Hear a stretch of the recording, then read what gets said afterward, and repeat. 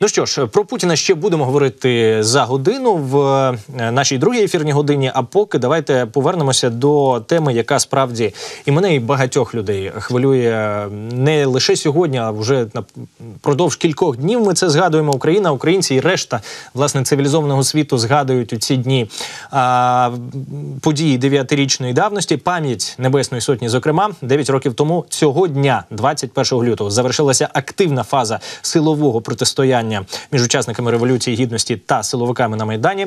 Днем раніше, 20 лютого, відбувся жорстокий розстріл е, людей у центрі європейської столиці. Розстріли з наказу Януковича. Ну а наступного дня, 22 лютого, так званий отой тодішній президент втік зі своєї резиденції. Ну і от власне обговорювати значення усіх цих подій і пам'ять про них будемо з одним із учасників цих подій Євгеном Нищуком. Це актор і колишній міністр культури України. Доброго дня, вітаю вас, учасник революції гідності і нині учасник е, повномасштабної війни е, проти Росії. Вітаю, доброго дня, пане Євгене. Дякую за ваш час. Бажаю здоров'я. Е, так справді це дуже пам'ятні дні, які Зрештою, тепер ще більше проявляють е, те, що нас захопити і загарбати хотіли значно раніше, е, і це таке було повстання, практично предтеча перед тим, коли е, Російська Федерація хотіла просто тихо окупувати і Крим, і, і всю зрештою Україну. От ви знаєте, це одна з е, безпосередньо тез, які я хочу з вами обговорити. Е, на майдані е, діями силовиків керував зокрема і представник а, Путіна, представник адміністрації Путіна Сурков на той час, а також ФСБшники, які приїжджали в Київ. От як учасник цих подій, ви можете згадати той момент, коли ви відчули, що от так з'явилася рука Кремля. Та вона з самого початку відчувалася насправді. Тобто е, вказівка розігнати ще 30 листопада майдан, очевидно, підкріплялася тим, що ви не не, не, не панькайтеся там з ними, е, розганяйте цю всю, розганяйте їх і, і все, і досить гратися з цим. Ну, власне, єдине, що вони як завжди недооцінили те, що українці, попри те, що можуть бути до певної міри якісь аполітичні або там. Е, активно не приймати участь в тому, чи мали ми мати в Європу йти в європейську родину чи ні, але ось це приниження власне людської гідності, е, яке всі побачили вранці після після побиття, так 30 е, листопада, от воно підняло цей мільйон, так би мовити, так. Який 1 грудня вийшов, і це вже була не просто Євромайдан, це було це була революція гідності. Це була боротьба за власну честь, за гідність, за за, за свободу. От ви знаєте, ми традиційно наприкінці лютого особливо активно згадуємо ці події, але От що я для себе відзначаю, що глобально в українців е, досі так і не було насправді історичної можливості на 100% осягнути усвідомити, от що відбулося тоді, взимку 2013-2014 років. Тому що дивіться, ну ми в постійному національному стресі перебуваємо відтоді, без перерви, без паузи. Ми от знаєте, як як не лягали спати. Я от я як постійно в якійсь напрузі. Е, спочатку е, не встигла революція е, завершитися і перемогти. Як почалася агресія в Криму, потім на Донбасі, потім вони намагалися хитати інші так звану Новоросію влаштовувати на півдні у нас і в Харкові. Е, потім, ну от власне, гібридна війна, яка тривала 9 років. Коронавірус тут ще якийсь, ну просто як сніг на голову. Ну і зрештою повномасштабна війна. І ми ну ми навіть не змогли досі зробити ще просто фізично не змогли зробити нормальний людський матеріал е, меморіал для того, щоб е, вшанувати пам'ять людей, які загинули е, там на майдані. Ну можливо, навіть е, вчорашня, а вчорашній день він теж є такою певною метафорою, тому що ми очікували всі, чекали на цей день для того, щоб вшанувати, е, згадати, подумати про це. Е, приїжджає Байден. Це ну звісно приємна дуже річ, при неймовірна, неймовірний сюрприз, дуже важливий. Ну але зрештою, ми все таки говорили передусім саме про це: про ну те, що от відбувається тут і зараз. Хоча саме тоді, 9 років тому, от саме тоді, як ви правильно сказали, все і починалося. Е, Я переконаний, що рано чи пізно, колись ми точно вшануємо, е, осягнемо значення е, і так далі. Але у вас я хочу запитати, яким на вашу думку має бути от в історичній уже перспективі, якою має бути пам'ять про ці події? Ви знаєте, Передусім, це та сотня, коли ми там 20 лютого почали підраховувати наскільки людей е, загинуло, і коли понад сотню нарахували, вже тому що там було раніше. Потім одна частина була 18-го особливо. Потім вже в 19-го і вночі були не тільки на самому майдані поранення, які потім призвели до, до смерті. Ну і власне такий пік розстрілів 20-го числа. Це була перша сотня. Зараз, коли ми читаємо зведення про тих, хто віддав своє життя вже в широкомасштабній війні з Російською Федерацією дуже часто е, починається з того, що такий-то, такий-то е, активний учасник майдану, майдановець, який пройшов горнило майдану, е, загинув зараз на теперішній війні, і це говорить про те, що ця боротьба триває.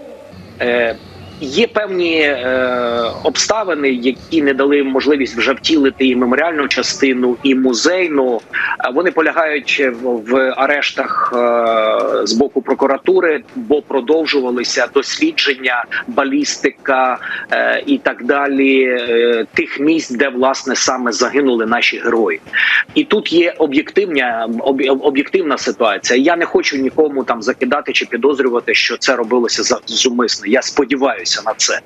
Ем, чимало роботи було проведено в тому сенсі, що була виділена земля, яка була вже продана. Її треба було назад повернути державі. Там мав бути торговий центр в е, так званому котловані, якщо не якщо вже там хтось призабув, і на це все потребувалося час і політична воля. Е, зрештою проводилися конкурси, тому що ну бажаючих і різних думок різно є, і треба було залучити міжнародних експертів і фахівців, і в тому числі нас, і учасників безпосередньо майдану, і поранених, і батьків е, чи родичів е, власне загиблих, і все це мало певну дискусію але ми очевидно, що маємо все одно прийти до повноцінного і меморіалу, і до музею. І я би його тепер вже назвав не просто музей революції гідності, а музей свободи. Бо в ньому було би і про героїв е, і революції гідності, е, і інших. Е, подій звитяг українського шляху до свободи, і безперечно, і теперішньої вже війни це обов'язково потрібно робити, тому що це є якраз утвердженням того, що е, ми призупинили цей цю. Тиху капітуляцію ще тоді, з боку влади, я маю на увазі, з боку Януковича. Е, ви можете перепитати Мустафу Джемілєва, який вже бачив документи, які готувалися ще до революції гідності про е, так звану анексію Криму. І і я думаю, що так само відбулося би і зі сходом Україною, та й зрештою зі всією Україною. Тобто, це вони намагалися зробити тихо. Якраз майдан за збігом обставини вибухнув і призупинив цю тиху здачу. Інша справа, що потім оці наративи, що це був переворот, що знов агентурна е, мережа працювала і звітувала Кремлю, що все це розчарувалися в революції. Розчарувалися, що е, українці готові вас зустрічати хлібом сіллю. Ви тільки прийдіть. І вони страшенно помилялися. Власне, це не дало можливості здійснитися ось цьому цьому триденному парадному бравуванню яке вони сподівалися здійснити, е, і це була. Це неймовірна титанічна жертовна боротьба наших співвітчизників, е, які які ціною власного життя зараз уже майже рік, практично рік, е, героїчно показують всьому світу, що Україна здатна протистояти цьому цьому злу, протистояти Російській Федерації і здобувати перемогу на полі бою. Київщина, Чернігівщина, Херсон, Харківщина і далі буде.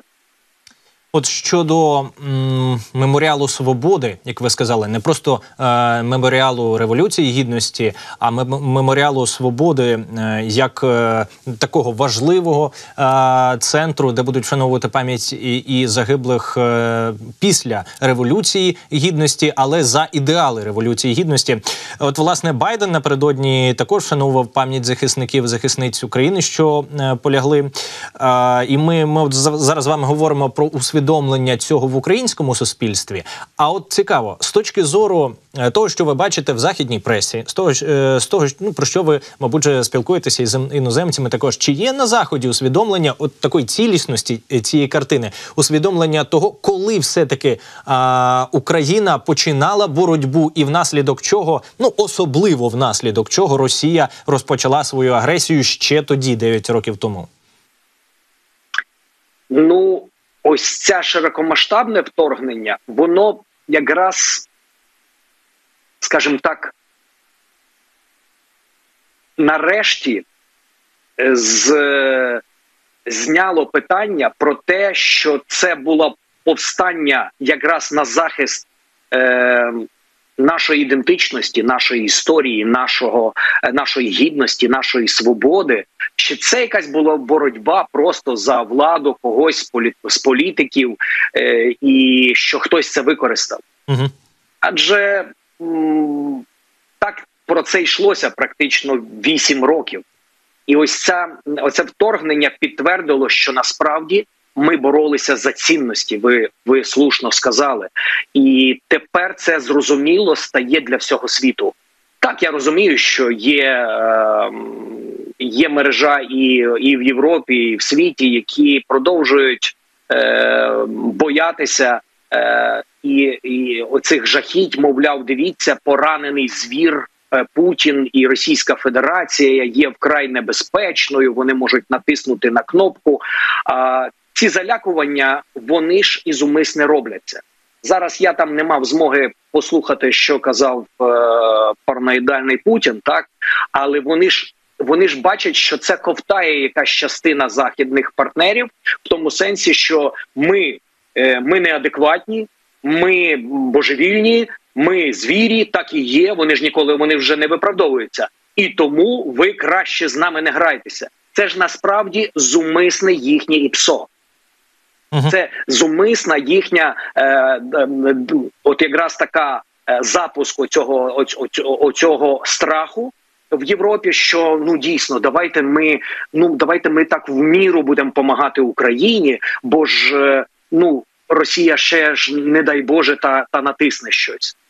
Ні, насправді Росія знає тільки силу. Вона не вміє домовлятися, і це не та країна, якою можна домовитися. Ми повинні нарешті покінчити з цим злом. Вони повинні, ми повинні повернутися до кордонів 91-го року і е, творити своє майбутнє. Нарешті, вже навіть до так званих їхніх опозиціонерів Навального, якщо ви там е, бачили його вже тези, вже нарешті Крим усвідомлення є, що Крим це це є українська територія, і треба взагалі повернутися до того, що було прийнято власне і самою Росією станом на 91-й рік. Безумовно, ми якраз обговорювали напередодні е, ці питання.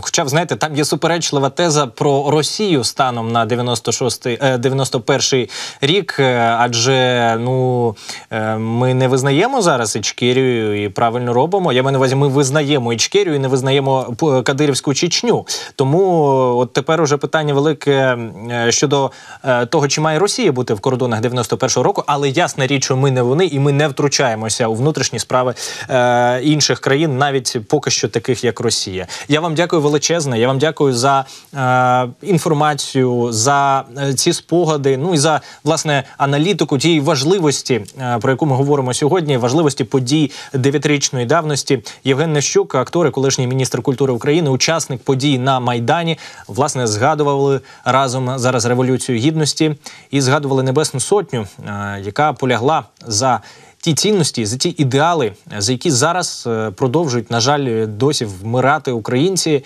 Ну і не лише вмирати, але і мочити ворогів.